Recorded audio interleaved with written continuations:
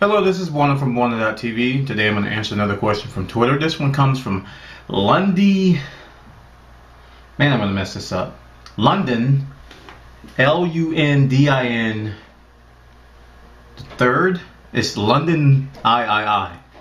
So I'm just going to assume it's Lundin the third. And uh, Lundin wants to know about MacBooks and uh, monitors. So he asks, I'm going to go ahead and just read exactly what he says here. Can I attach a monitor to my MacBook while still using the laptop monitor? And how do I do this?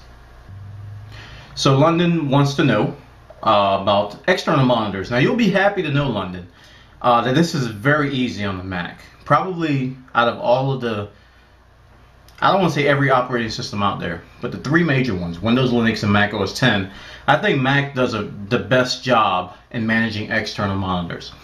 What you need to do is simply connect the external monitor to your MacBook. Um, now, I'm not completely sure of the, of the ports on the MacBook. I don't have a MacBook. I have a MacBook Pro.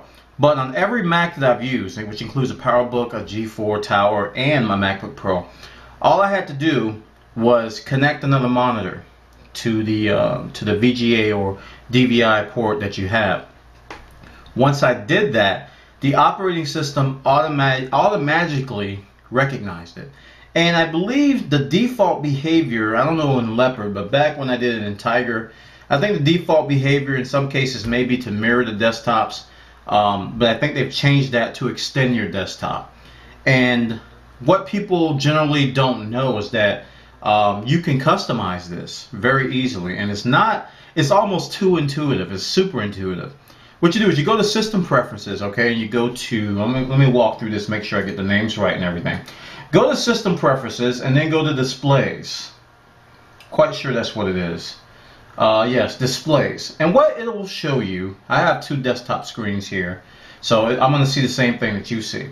It has one for the Apple Cinema display, that I have attached and it has a preferences for the color LCD on my MacBook Pro. Now from here I can configure two separate resolutions and two separate windows and it's very very cool. This is on the display tab and there's also uh, an arrangement tab and a color tab depending on which one you've uh, selected.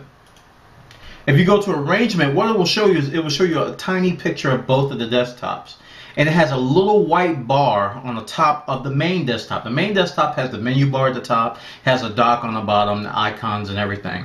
If you want to switch, say for example you want to use that extra monitor as your main monitor, all you gotta do is drag and drop that little white line that represents the menu bar on that little the little rectangles. All you gotta do is drag and drop it and it'll denote, it'll change the default or main desktop in Mac OS 10 that's pretty much it.